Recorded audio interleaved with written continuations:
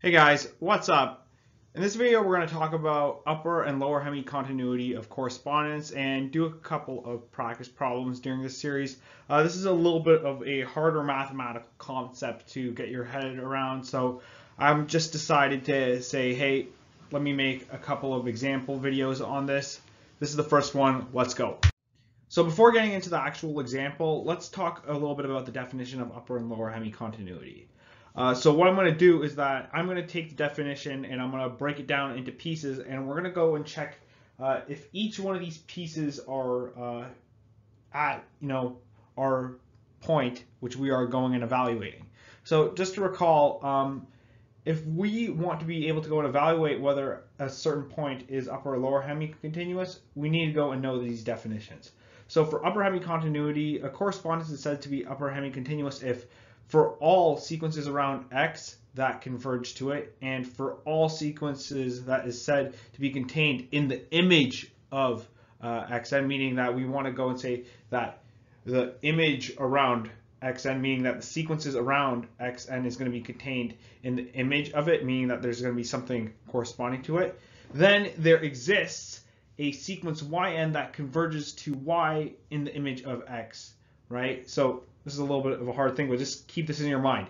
Uh, the second one is for lower hemi-continuity is for all y in g of x, that is for all values y in the image of g of x, and for all uh, xn or all sequences x that converge to x, then there exists a sequence of yn that converges to y, and yn is contained in the image of uh, g of xn, meaning that if we were to evaluate g at xn, we would come out with yn.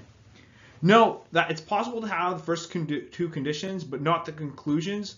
So we need to make sure that all these conditions are met before declaring correspondence is upper or lower hemi-continuous at a given point. Let's get into the example. So we have a simple correspondence there. And again, I'm not really using any mathematics over here. We're just looking at it as a picture. And the question is, is, is this uh, correspondence upper hemicontinuous or lower hemicontinuous at point x0 right over here? So let's first look at our definition of upper hemicontinuity. We say that for all uh, xn, that converges to x. So we can just see by looking at this, if we would consider a sequence going from this side and a sequence going from the other side, uh, we go and have that limit, that meaning that that proper limit goes and exists. So that's one thing that we can go and check off on our list for upper hemi-continuity.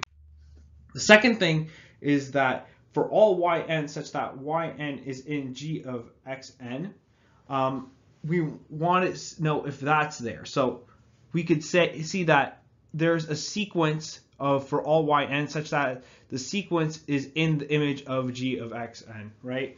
Um, so that's there, meaning that we can go and say that yn is in this image.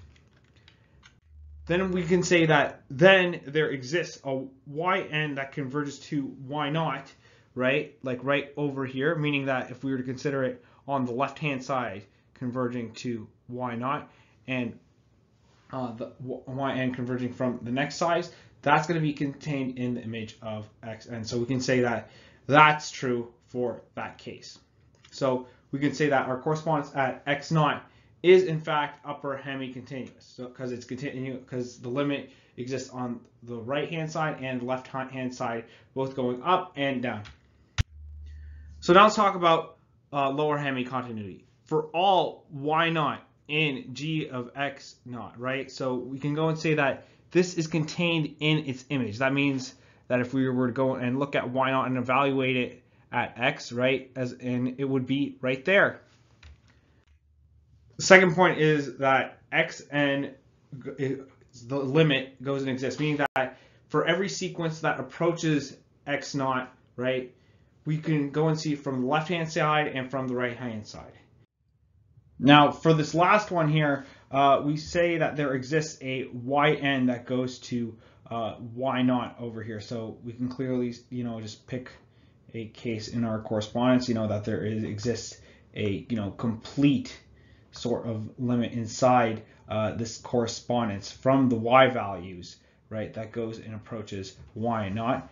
but we need this also the second condition of yn being contained in the image of g of xn. So the best way to think about this is that if we were to consider, you know, some neighborhood around uh, x naught and you know some uh, you know alt some other you know neighborhood that is around yn and we can go and say that if we were to go and uh, I guess you know connect these sort of neighborhoods I know this isn't the best sort of drawing here but we can find uh, you know some point here right? Let's call that the y endpoint that is not in our correspondence. So that's why we have this guy here, right? This is why we have that problem. So just to conclude, we can say that our correspondence is upper hemicontinuous but not lower hemicontinuous at point x naught. I hope this example video helps you. Take care.